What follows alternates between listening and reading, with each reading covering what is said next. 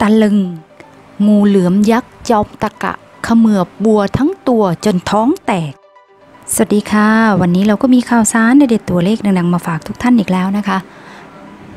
ชาวบ้านนะคะไปเจองูเหลือมยักษ์นะคะ ตัวขนาดใหญ่บิ๊กบึ้มเลยนะคะ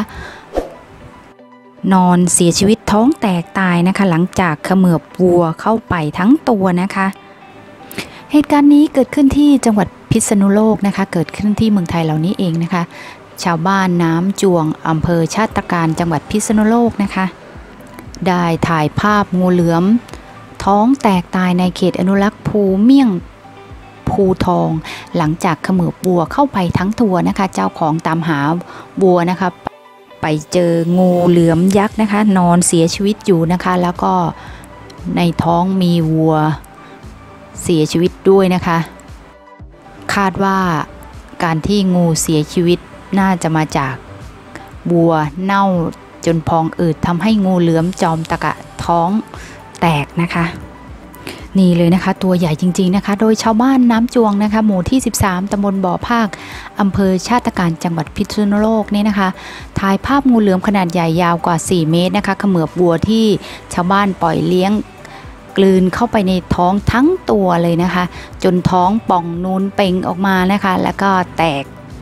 แล้วงูตัวดังกล่าวก็เสียชีวิตคาพงหญ้าบริเวณอ่างเก็บน้ำอันเนื่องมาจากพระราชดำริบ้านน้ำจวงนะคะ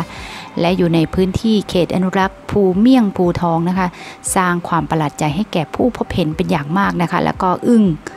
แล้วก็ตะลึงกันเลยนะคะ เพราะว่ามันตัวใหญ่จริง ๆนะคะ ชาวบ้านจึงถ่ายภาพเก็บไว้แล้วก็โพสต์ในโซเชียลบอกว่าหน่าเป็นงูตัวใหญ่ที่สุดเท่าที่เคยพบมาในป่าบริเวณนี้นะคะ โดยชาวบ้านเล่าว่านะคะได้ปล่อยวัว ไว้ตามป่าหญ้าซึ่งเป็นพื้นที่ติดกับอ่างเก็บน้ำนะคะ แต่เจ้าของวัว เห็นว่าวัวหายไป 2-3 วันจึงเดินไปดูรอบๆบบริเวณ กับเห็นงูเหลือมขนาด 4 เมตรนะคะ นอนท้องแตกตายนะคะ ซึ่งการตรวจพบว่าท้องงูเหลือมมีซากวัวอยู่ในท้องด้วยนะคะทำให้ดูเหมือนว่า งูเหลือมมีขนาดที่ใหญ่มากนะคะ ซึ่งจากการสันนิษฐานของชาวบ้านนะคะคาดว่างูเหลือมได้ลัดวัวของชาวบ้านจนเสียชีวิตนะคะ จากนั้นก็ค่อยๆ กลืนวัวเข้าไปในท้อง จนวัวขึ้นอืดในท้องส่งผลให้เจ้างูเหลือมตัวนี้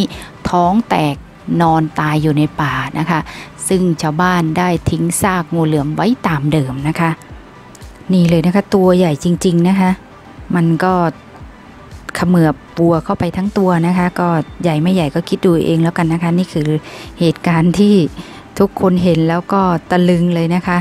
งูเหลือมเขมือบวัวนะคะ เข้าไปทั้งตัวจนเสียชีวิตนะคะ